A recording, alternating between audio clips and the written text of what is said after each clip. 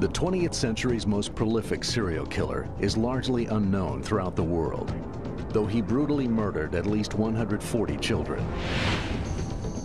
Posing as a priest and a teacher, he lured poor young boys away from their families, raped them, and murdered them. Committing his crimes in various regions of Colombia, South America in the 1990s, he eluded Colombia's authorities for nine long years. What goes on inside the mind of a serial killer? And how do the authorities go about catching one? We'll find out from the experts as we track Garavito, the world's worst serial killer.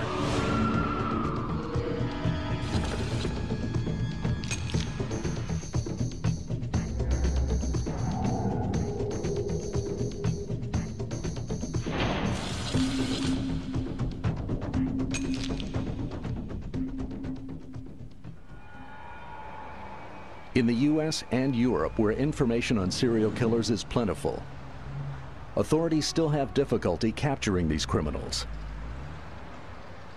But imagine if a serial killer struck in a place where there was no authority over the populace, a place where the deaths of poor young boys could go unnoticed by society at large.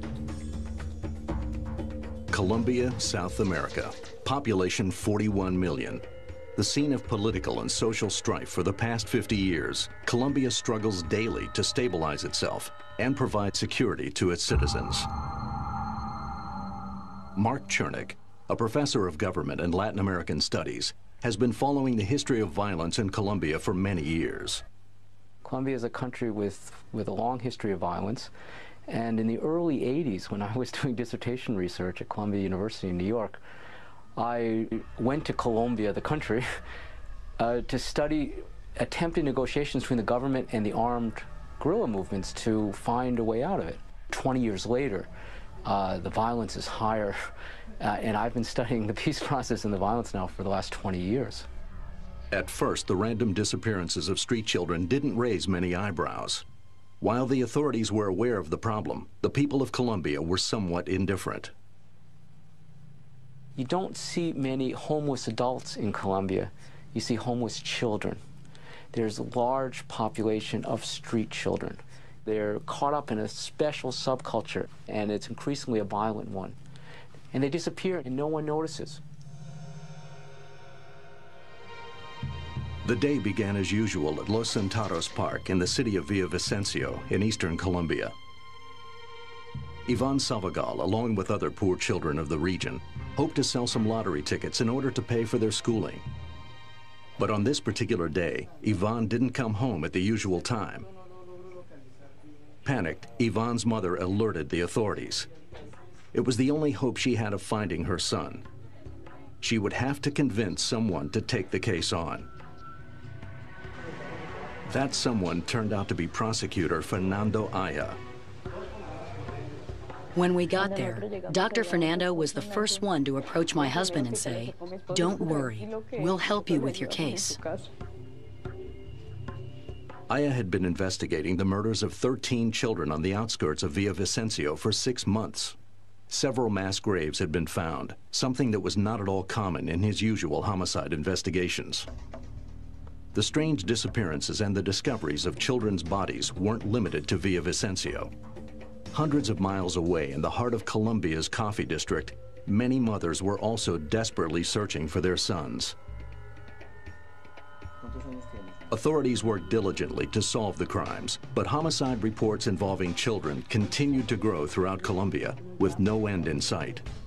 Death notices extended to 70 locations throughout 13 states or departments, and even to towns in the north of Ecuador. In November of 1998, in a place known as Nacederos, a city 380 kilometers to the west of Bogota, there was another gruesome find. The bodies of 14 children were found, all bearing numerous cuts made by blades or knives. The initial forensic analyses of the victims determined that the children were Caucasian, between the ages of 8 and 14. Dr. Christy Kokonis, a forensic psychologist, talks about why the killer fixated on young boys. His victim choice of young boys clearly points to the fact that he had a fantasy of uh, becoming involved with young boys. Boys, this was his preferred uh, victim type, um, and that he needed to become intimately involved with these boys. That he needed to bind them in a certain way is suggestive of his sadistic fantasies. This is someone who um, needs to feel godlike. Robert K. Ressler, Director of Forensic Behavioral Services International, is one of the pioneers of criminal profiling. His work has helped capture some of the most notorious serial killers in history. The serial killer, from a, a psychodynamic view, is basically an antisocial personality, be better known as a psychopath. Uh, most crimes of the serial killer are sexually oriented. I would say 90 plus percent of serial killers are sexually motivated. Uh, you have a person who's a, generally speaking, a white male. They're in their mid to late 20s on up to their early to mid 30s. So you have a kind of a 10-year window there of uh, uh, acting out. You're dealing with an individual who uh, commits his crimes in different times, different locations, different places, and there is a cooling off period in between each of those uh, events.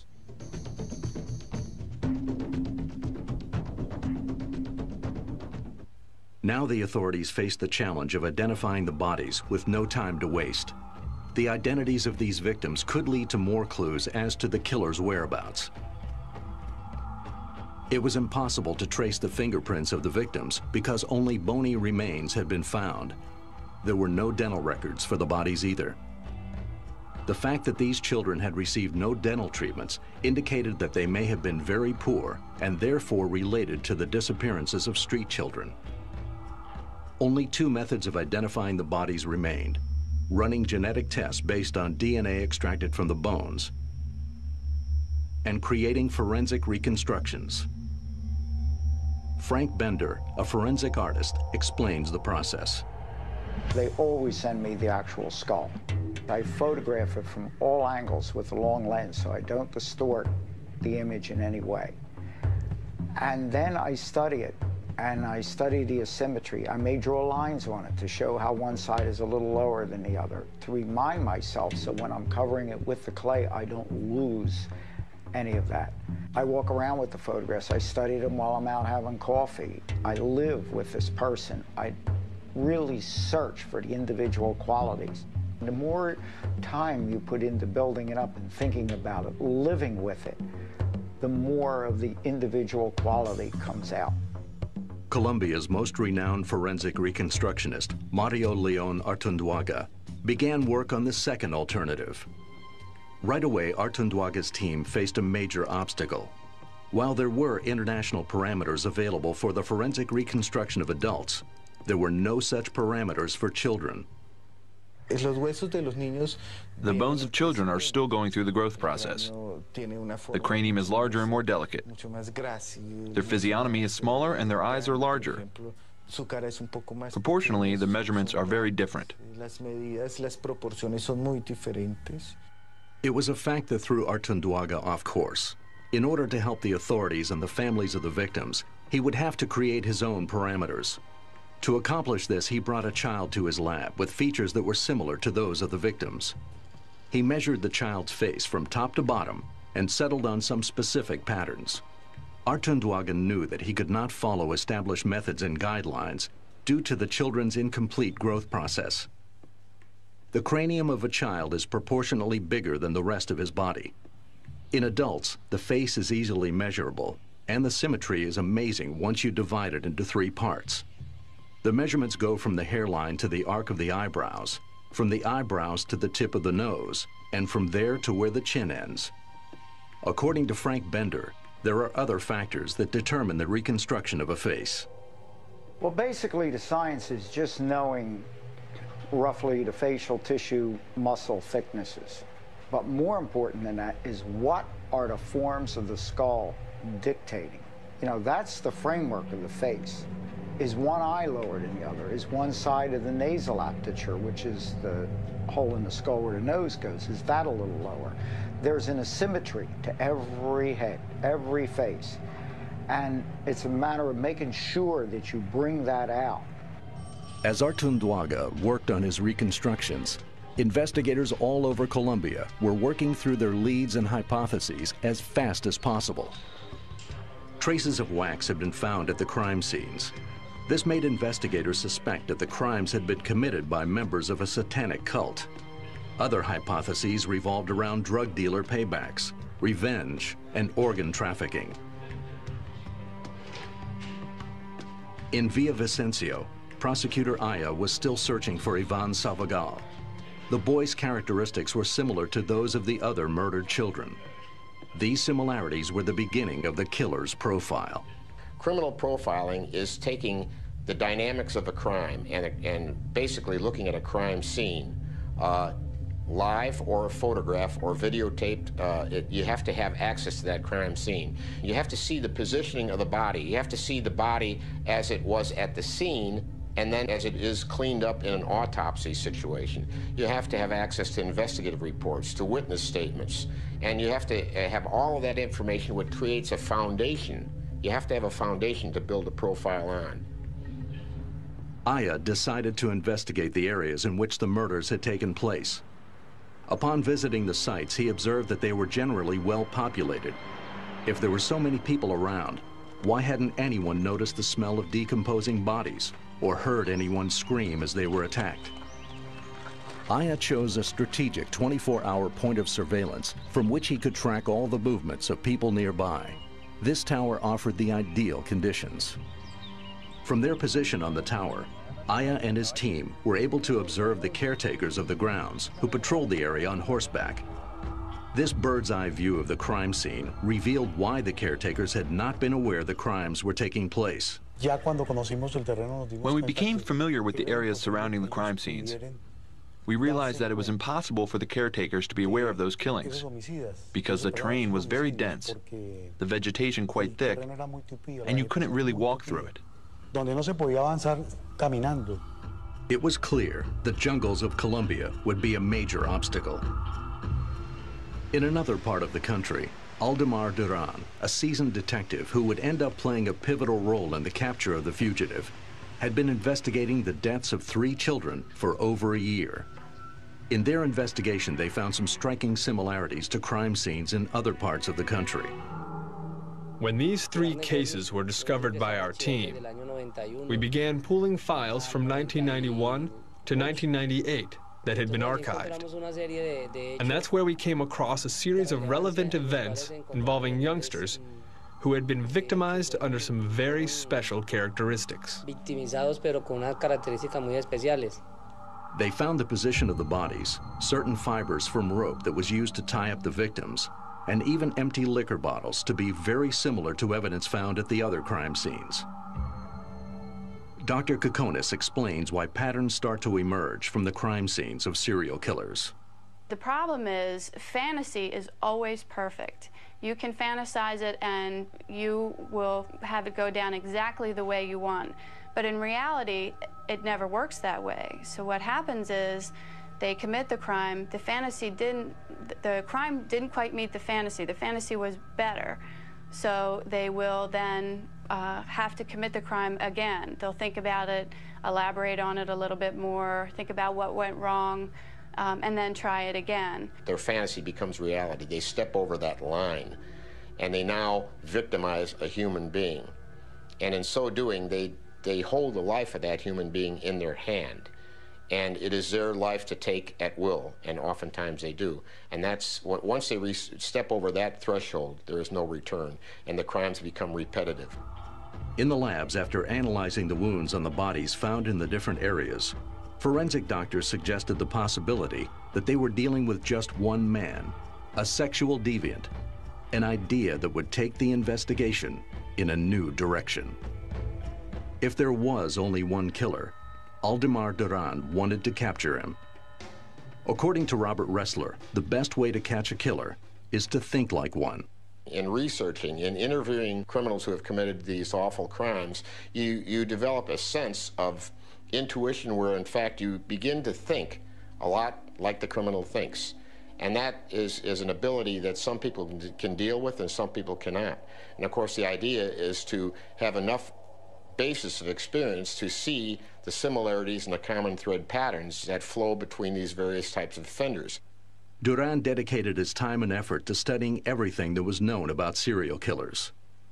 We were going to solicit information from the FBI so that they could send us some documents, texts, so that we could get up to speed.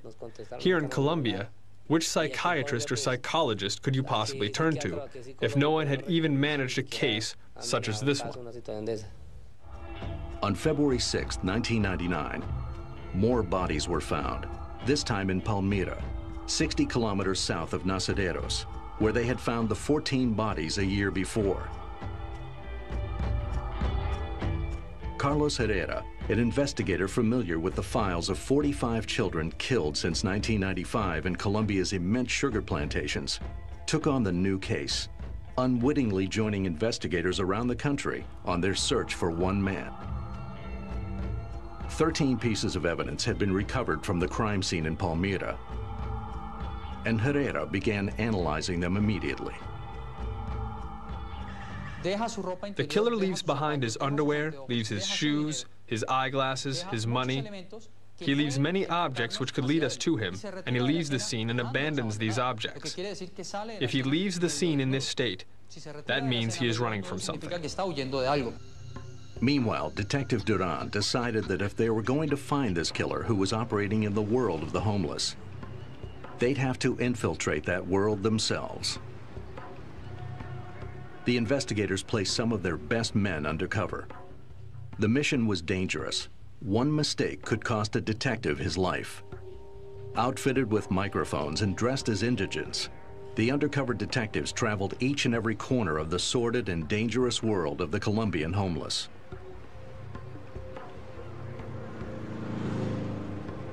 As Duran's men ingratiated themselves into this Colombian underworld, Carlos Herrera had discovered several details which would bring the prosecutors one step closer to the criminal's physical appearance. Herrera analyzed a pair of men's shoes that were found at the crime scene in Palmira. He detected an unusual fraying of the heel on the right shoe. The piece displayed pressure on two points, and there was no evidence of wear on the front part of the shoes, a sure sign that the subject's foot had to be smaller than the size shown on the shoes. He was even able to detect how the suspect might walk. He suggested that the suspect had a limp and might rotate his foot when he walks, which would explain the uneven wear on the shoes. This could mean that the suspect had sustained some kind of injury. This limp that Herrera theorized about could also have another cause, one link to the killer's murderous impulses. Dr. Jonathan Pincus, neurologist and author of the book Base Instincts, explains how a certain part of the brain controls both motor skills and personality. The part that's just over the eyes and in the midline, which is called the supraorbital part of the frontal lobe, has a great deal to do with personality. What sort of a person you are. Are you an irritable, difficult person? Are you a happy-go-lucky, easygoing person? Uh, uh, are you very quiet, but given to great displays of temper? Uh, there are different kinds of people, and those are determined by the brain. The frontal lobe does a lot of things, and the most posterior part of the frontal lobe is devoted to voluntary movement. Uh, if it were damaged or removed, uh, there would be weakness on the opposite side of the body. More studies revealed that this person's height range was between 1.63 meters and 1.67 meters. The criminal also left behind a pair of glasses that had been partially burned. While they couldn't account for the charring on the glasses, tests revealed that the user of these glasses suffered a condition which afflicts people in a specific age range. We determined from the prescription on the lenses that the user was between 40 and 45 and between 55 and 60 years old. A detailed study of the everyday wear of the glasses also produced a presumed facial structure. The wearer had bent the arms of the glasses indicating that he might have oddly placed ears. Investigators had also discovered that the criminal moved from one place to another with ease. This was determined after tracing some currency left by the killer at the crime scenes. there were nearly 180,000 pesos that were traced to the killer, which had been distributed in the southern part of the country and in the city of Ipiales on the border of Ecuador. The crime labs had produced clear results. They were looking for a man with a limp who was between 1.63 and 1.67 meters tall, between the ages of 40 and 45 or 55 and 60, who always consumed the same brand of liquor and who wore eyeglasses. The authorities pulled legal paperwork from the last 10 years involving pedophiles. After finding over 5,000 cases of aggression against minors, they discarded all those relating to attacks against girls. There were over 1,500 files left. After inspecting them, the investigators excluded those involving perpetrators under age 42 this left 95 persons, of which only 45 were within the 1.63 and 1.67 meters height range. They then proceeded to select those people who committed crimes in the areas where the majority of the victims were found.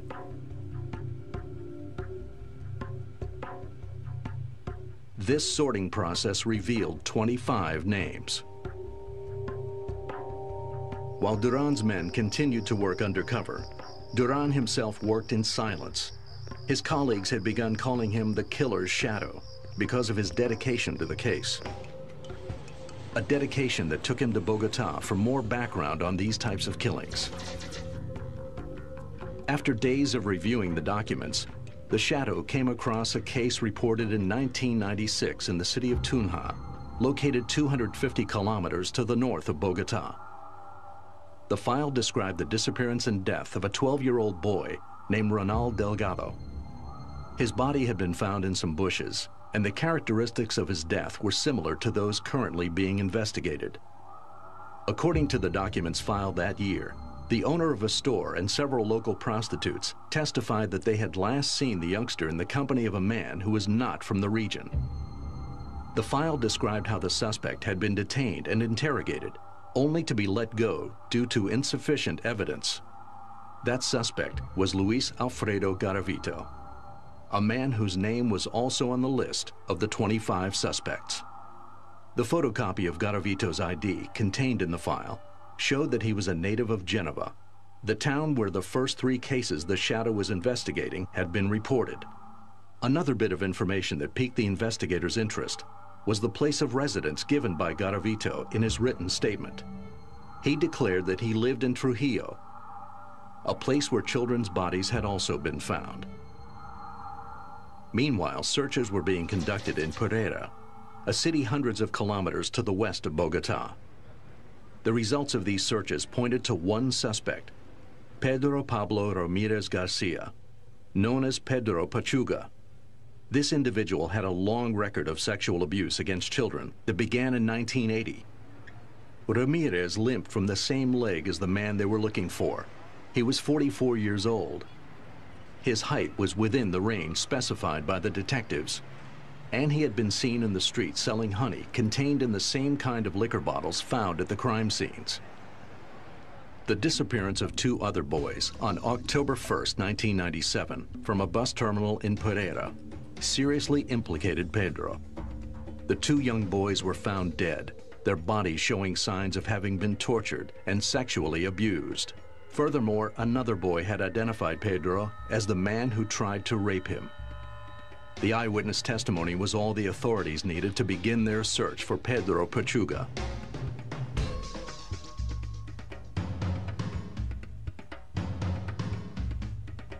They found him on the street, captured him, and for the first time in years, the investigators breathed a sigh of relief. They finally had someone behind bars. But their captive kept proclaiming his innocence.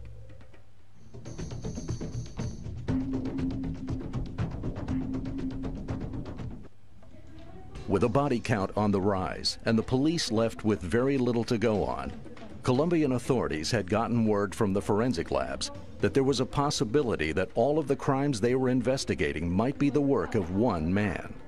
But their suspect was denying any involvement. While he was in jail, four children were murdered in Bogota under similar circumstances as the other crimes. the prosecutor's office had made a fatal mistake. Bewildered, the authorities took the process of collecting evidence at the crime scenes to another level. They decided to follow a special procedure that had been developed in Great Britain. This search method proposes a hand-by-hand -hand search of an area defined by colored ropes. When something is found, the place is marked with a flag, and then the evidence is recorded with a photograph. However, this system had been designed for very different conditions than those the Colombian investigators would encounter. The police force was up against Mother Nature. The vegetation in and around these crime scenes was so thick that the British search procedure, which was intended for the well-manicured lawns of England, was nearly impossible to carry out in the jungles of Colombia. Still, the Colombian authorities pressed on.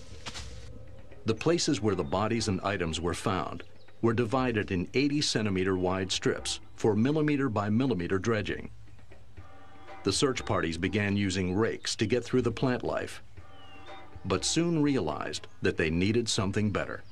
Investigators had no choice but to use the same instruments used by the local peasants in order to advance the search. They modified tools such as this one, known as the garancho by Colombian farmhands a type of wooden hook with an outward arm, which is ideal for digging in wooded lands. This instrument became the detective's best ally. While the work continued in the field, the morphologists were making progress with the facial reconstructions. Their work brought together techniques known and used in other countries. They used Russia's research in reading bones, which allows scientists to find many details. They used America's systems for filing and statistics. They also used the British biological research for their reconstructions. By mixing these aspects, they got closer and closer to the actual bone and facial structures of the victims. With this technique, Artunduaga reconstructed the faces of four boys. They were recognized by family members. Now the investigation would run its course with the aid of a new tool. Meanwhile, Duran had tracked down Garavito's family in Trujillo thanks to an address the suspect had left on a dossier. Duran met with Esther Garavito Cubillos, one of Luis Alfredo's sisters. Duran wanted to know if Garavito had left any papers there. The woman confirmed that indeed, her brother had asked her to keep a bag full of personal items for him. They found elements that would reveal astounding details about the suspect's life. There were documents, photographs, and mementos of his travels. They also found an entire box of notebooks and pads. They often keep journals about what they do so that they can relive the crimes in between the killings. Um, they use this for masturbatory purposes. It becomes their pornography.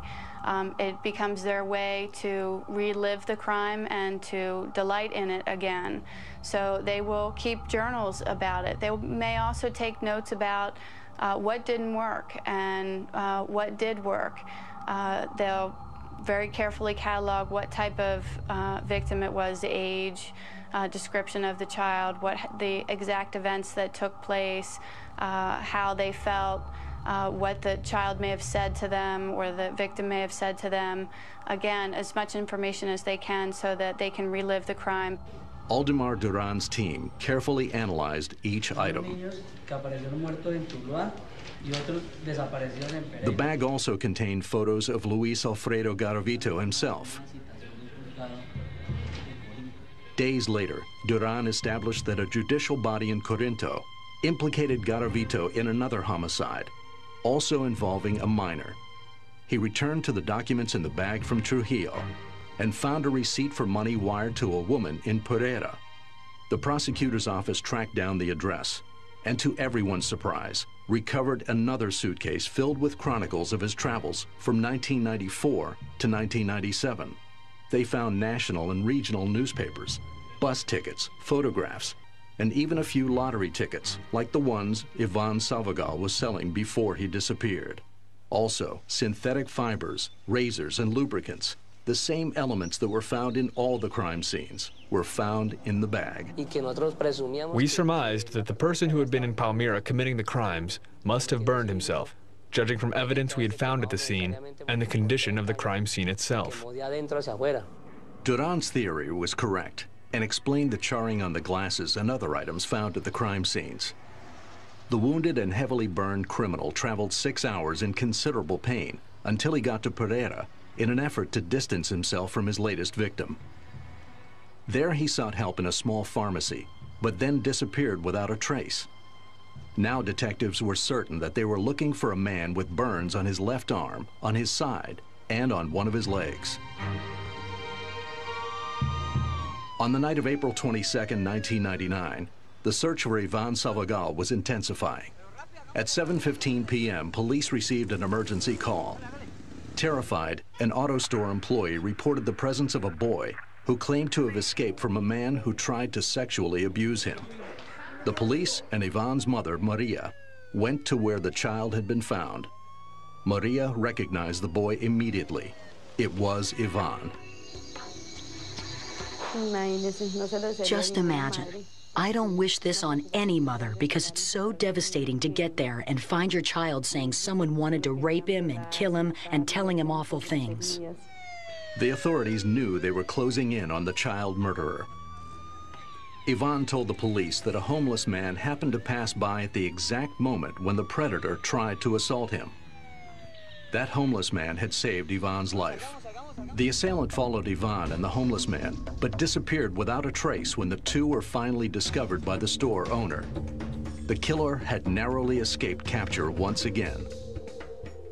Discouraged, the police headed back to headquarters to regroup. But then something unexpected happened. As Ivan was riding with his mother in a police car, he spotted the aggressor. The detainee identified himself as Bonifacio Morera Liscano, a man whose name did not appear on the police list of 25 suspects. The authorities arrested him anyway. Not once did he show he was frightened. He wanted to avoid being captured by acting serene, and at no point did he seem agitated. They know what's supposed to be said, but they don't have the feelings behind it. So that you'll get crocodile tears and things like that. Oh, I think it's just so tragic that, you know, this is happening to these children. I can't imagine what kind of person would do this sort of thing. Meanwhile, it's, it's them. They're the person that has done this. When prosecutor Aya learned of Bonifacio's capture, he visited the prisoner and noted the amazing similarity between this man and Luis Alfredo Garavito. Later, Aya discovered Bonifacio Moreira's signature was different on each document that he signed on the night of his apprehension. Aya was now certain that they had the right man. After Bonifacio Moreira was detained, the prosecutor's office summoned investigators throughout the country to a summit meeting for the purpose of exchanging information on the case. Aya took with him the photograph of the man who tried to rape Ivan Salvagal. He contacted the detective, who had spent the most time on the heels of the criminal, Aldemar Duran. When Duran and the other investigators from the coffee district saw the photograph, they were speechless. The most dreaded serial killer of children that ever walked the earth was finally behind bars. Luis Alfredo Garavito. Everything matched. He was 42 years old. He was 1.67 meters tall. He wore glasses and he had scars and burns on his left arm and on his side. Luis Alfredo Garavito was born in Genova, a small town located in the center of Colombia, which, like few others, lived through the horrors of the Colombian Civil War during the 20th century. His home life wasn't without its battles either. Garavito's father was a very abusive man. Who was your most important teacher for patterns of behavior and thought? It's your parents. How do you get your sense of self-image and, and what, what your value is? It's from your parents. If you've got good parents, you've got a good feeling about yourself. If you've got terrible parents, you're likely to have a terrible feeling about yourself and also to say, uh, while you're cowering behind the couch while your drunken father is at the door and, and uh, making everybody scared, someday I will be drunk and come home and everybody will be cowering when I enter the room. To escape this abuse, Garavito left home at a very young age and began wandering the world. He led an apparently normal life on the road, even holding a steady relationship with a woman who had a son from a previous relationship. By all reports, Garavito never harmed the woman's son. Not even this woman who was so close to him suspected this individual's criminal behavior. Behind a kindly facade hid a dreaded murderer. Even with all the evidence gathered against Garavito, the investigators had another obstacle to overcome. They still had to prove he was guilty in the eyes of the law. Because he knew the suspect well, Duran suspected that Luis Alfredo Garavito had kept other records of his travels and crimes.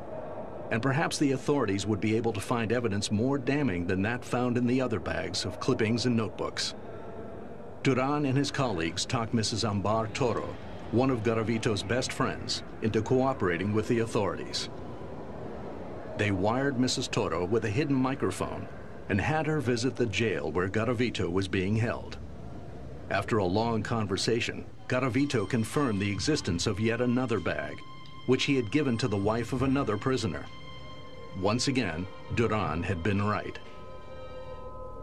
More documents emerged, and even children's photos, as well as a wrinkled paper with strange marks scribbled on it. Authorities would later discover that this was a personal tally of his victims. But it was necessary to take samples of Garavito's hair and blood to a lab, to run DNA tests on them, and show the correlation between him and evidence collected at the crime scenes. It was also important to give Garavito an eye exam that would prove that the burnt glasses found in Palmira belonged to him. So that Garavito would not suspect anything and purposefully lie on his eye exam, all of the prisoners were subjected to the same test Garavito was. And while this was going on, detectives searched his cell and obtained hair samples left on a pillow for the DNA tests. These tests came back positive, matching the DNA gathered in Garavito's cell to the DNA gathered from the liquor bottles and bodies at the crime scenes. But Colombian prosecutors weren't content with the information they had. For the first time, the Colombian authorities used the LINK program as an investigative tool. LINK is a Dutch software that is able to associate events, coincidences, and probabilities that might indicate connections between seemingly unrelated crimes. The LINK program was able to cross-reference 5 million pieces of data per second. The results were simple. Garavito had been in every one of the crime locations. Investigators fed hotel reports, testimonies, and evidence into the system. And what came out was confirmation that Garavito was their man. Colombian prosecutors were now satisfied that the case against Garavito was airtight. Armed with all the evidence, the prosecution decided to interrogate Luis Alfredo Garavito and get a confession.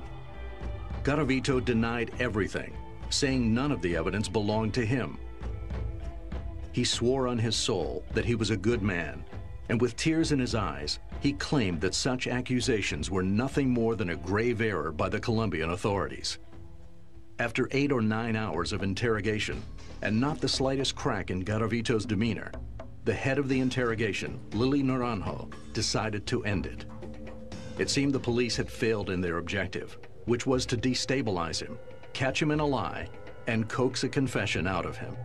When you get a person who perseveres and really pursues an investigation, they are the only person that is going to be very effective with that individual.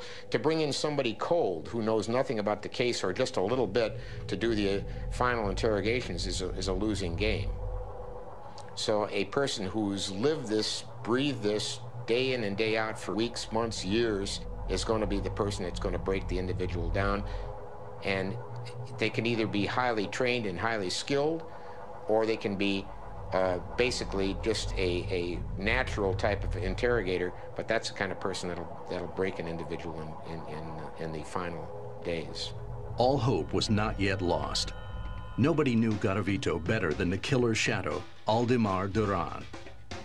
Prosecutor Naranjo authorized a private meeting between Duran and the murderer. Using the prudence and keen perception of a weathered homicide detective, Duran described in precise detail the ways in which Garavito tricked his victims and the death rituals he performed on them. He hoped that making Garavito relive all of his fantasies would cause the killer's facade to break. Hearing of the killings left Garavito speechless. I knew of situations he had been in at each of these towns, how he had arrived, whom he had been with, how he was dressed. As Duran spoke, the killer began to feel his world crumbling around him.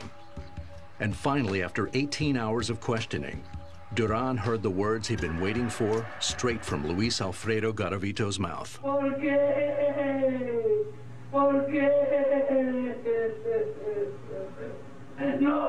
Garavito cried out for Duran to stop. The killer just couldn't take any more. This tape, made by Colombian authorities, registered the exact moment when the world's deadliest serial killer of children confessed his crimes.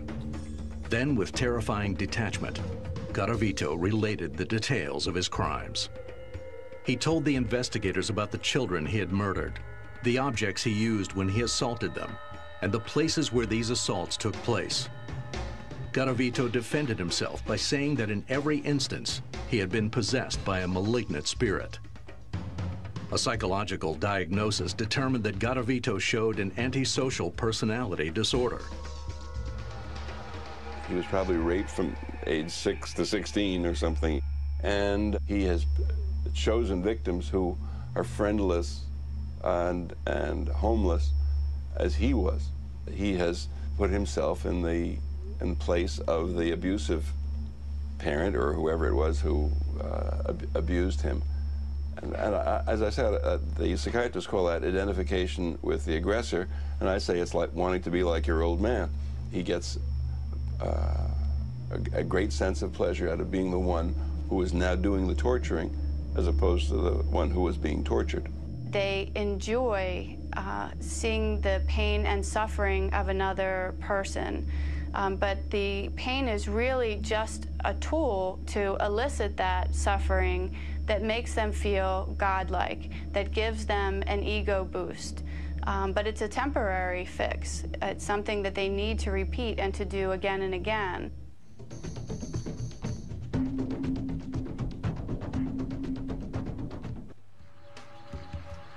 The killer began to feel his world crumbling around him. And finally, after 18 hours of questioning, the killer just couldn't take any more. This tape, made by Colombian authorities, registered the exact moment when the world's deadliest serial killer of children confessed his crimes. In an effort to cooperate with authorities, Garavito provided information about the whereabouts of his victims. More bodies were unearthed. The final tally of bodies came to 140, though experts believe there could be more. Luis Alfredo Garavito remains in this prison under maximum security. He requested and has been granted protection against a possible assassination. In an effort to shorten his sentence, Garavito made a public apology for his crimes. I ask the Colombian people to forgive me, to give me the opportunity which maybe I deprived many people of. By showing regret and good behavior in jail, he will most likely walk the streets of Colombia again. This is most definitely, unequivocally not someone that can be rehabilitated. That uh, when you see pedophilia and sadism, particularly together, uh, and there is evidence that the person was a psychopath, there is no known treatment for psychopaths, and we know that these offenders continue to fantasize about this while incarcerated. They may create their own pornography while incarcerated. Um, when we've gone and talked to them, they will tell you the fantasies never stopped. People have neurological problems. Some of those you can treat. You can treat migraine. You can treat epilepsy. You can do. You can make their lives a little bit more uh, livable. Um, but the idea of rehabilitating someone to the point where they could function in society reliably without being violent, I think that that's unrealistic. Never before in Colombia's history had there been a legal case of this magnitude. This caught the Colombian courts unprepared to punish Garavito. In Colombia, they can take the worst charge and double the penalty for it. But they can never exceed the maximum stipulated by the law. Therefore, in Colombia, the maximum for Garavito would be 40 years. 40 years of prison for 140 young. The 20th century's most prolific serial killer is largely unknown throughout the world, though he brutally murdered at least 140 children. Posing as a priest and a teacher, he lured poor young boys away from their families, raped them, and murdered them. Committing his crimes in various regions of Colombia, South America in the 1990s, he eluded Colombia's authorities for nine long years. What goes on inside the mind of a serial killer? And how do the authorities go about catching one? We'll find out from the experts as we track Garavito, the world's worst serial killer.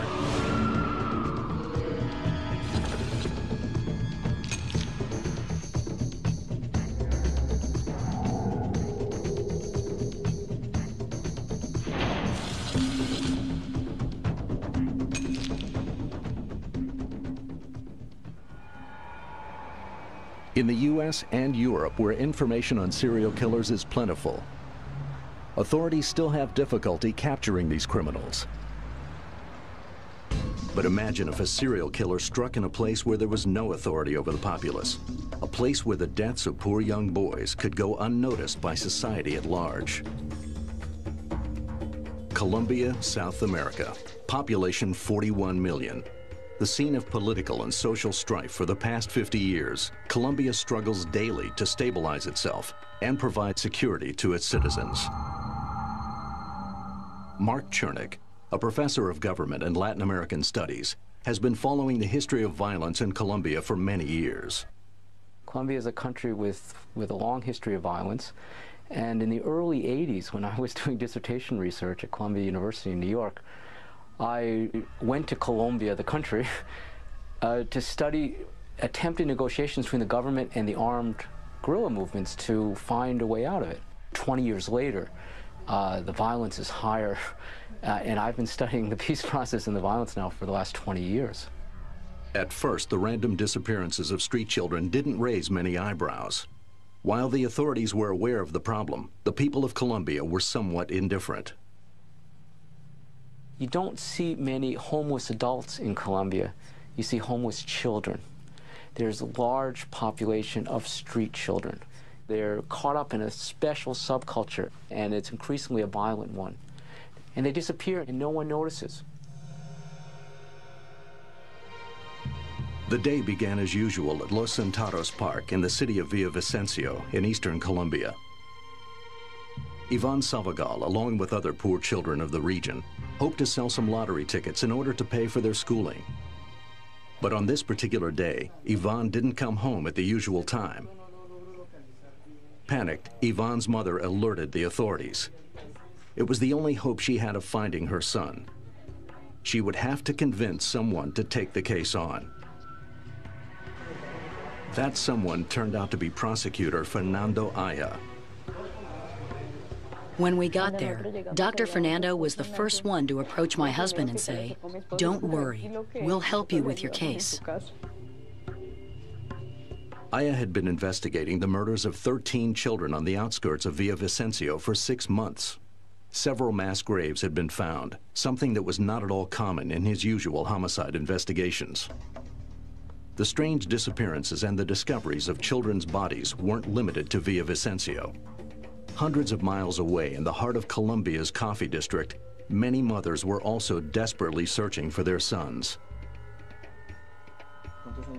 Authorities worked diligently to solve the crimes, but homicide reports involving children continued to grow throughout Colombia, with no end in sight. Death notices extended to 70 locations throughout 13 states or departments, and even to towns in the north of Ecuador. In November of 1998, in a place known as Nacederos, a city 380 kilometers to the west of Bogota, there was another gruesome find. The bodies of 14 children were found, all bearing numerous cuts made by blades or knives.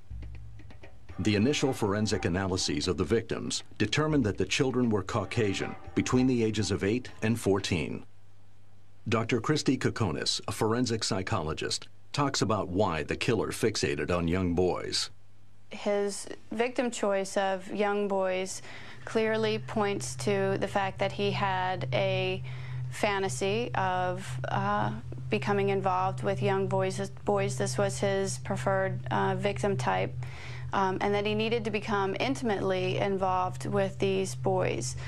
That he needed to bind them in a certain way is suggestive of his sadistic fantasies. This is someone who um, needs to feel godlike. Robert K. Ressler, Director of Forensic Behavioral Services International, is one of the pioneers of criminal profiling. His work has helped capture some of the most notorious serial killers in history. The serial killer, from a, a psychodynamic view, is basically an antisocial personality, be better known as a psychopath. Uh, most crimes of the serial killer are sexually oriented. I would say 90 plus percent of serial killers are sexually motivated. Uh, you have a person who's a, generally speaking, a white male. They're in their mid to late 20s on up to their early to mid 30s. So you have a kind of a 10-year window there of uh, uh, acting out. You're dealing with an individual who uh, commits his crimes in different times, different locations, different places, and there is a cooling off period in between each of those uh, events.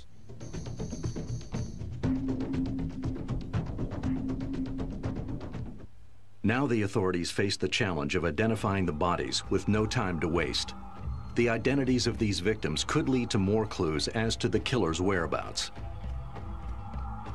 It was impossible to trace the fingerprints of the victims because only bony remains had been found. There were no dental records for the bodies either. The fact that these children had received no dental treatments indicated that they may have been very poor and therefore related to the disappearances of street children. Only two methods of identifying the bodies remained, running genetic tests based on DNA extracted from the bones and creating forensic reconstructions.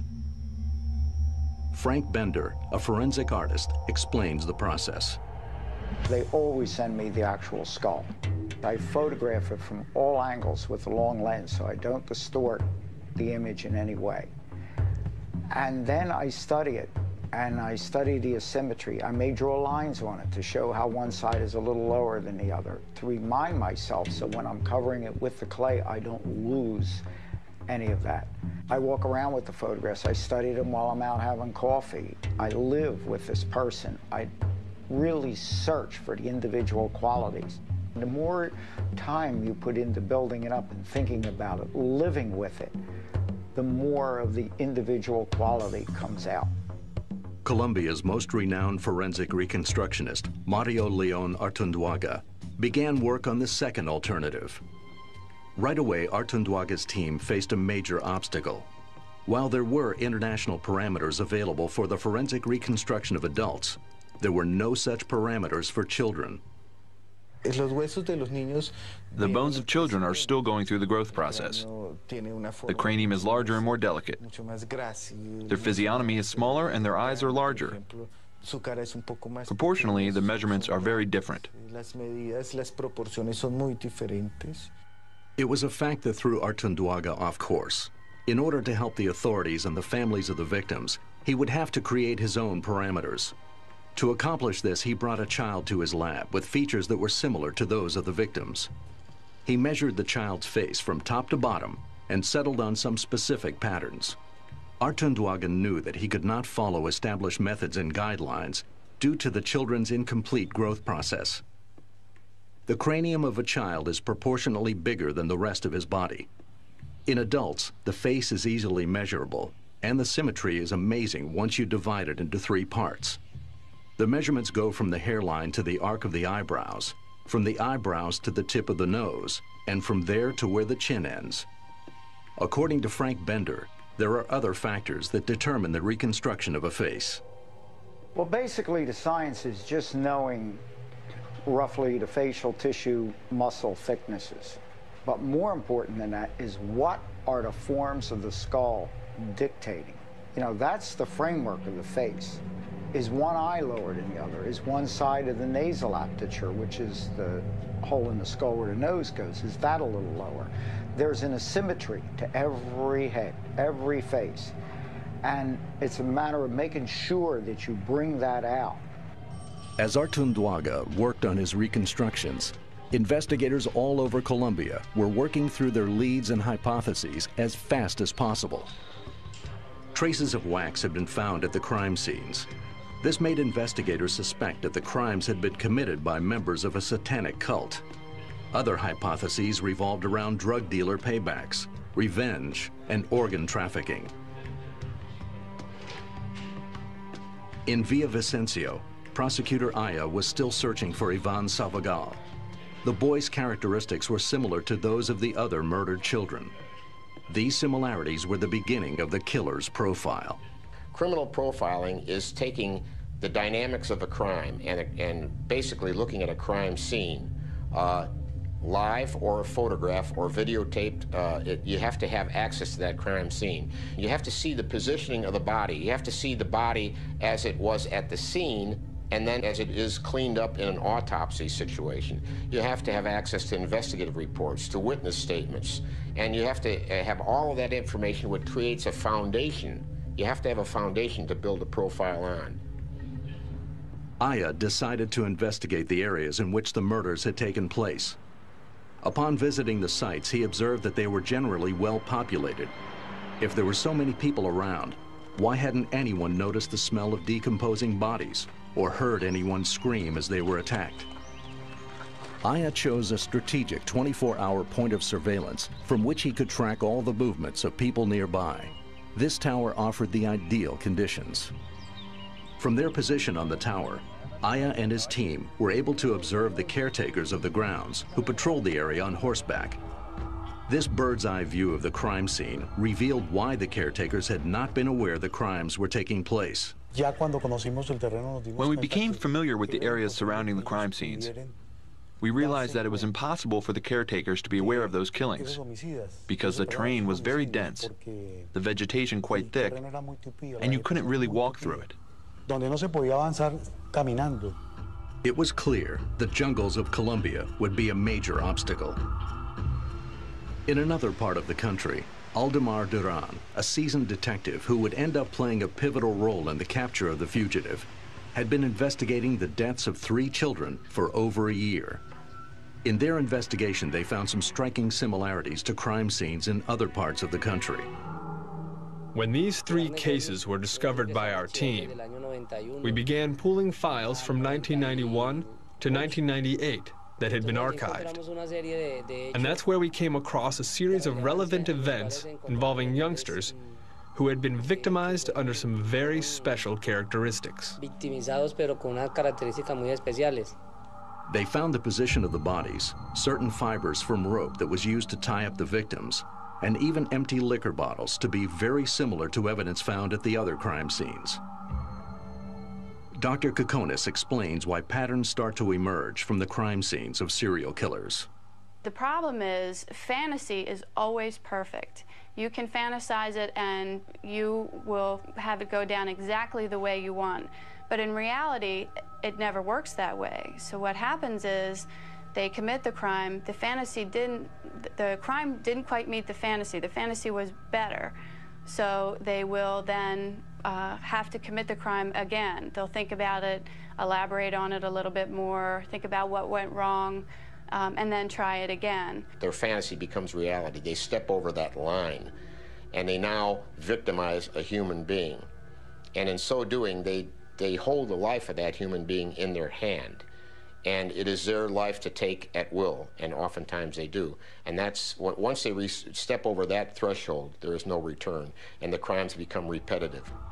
In the labs, after analyzing the wounds on the bodies found in the different areas, forensic doctors suggested the possibility that they were dealing with just one man, a sexual deviant, an idea that would take the investigation in a new direction.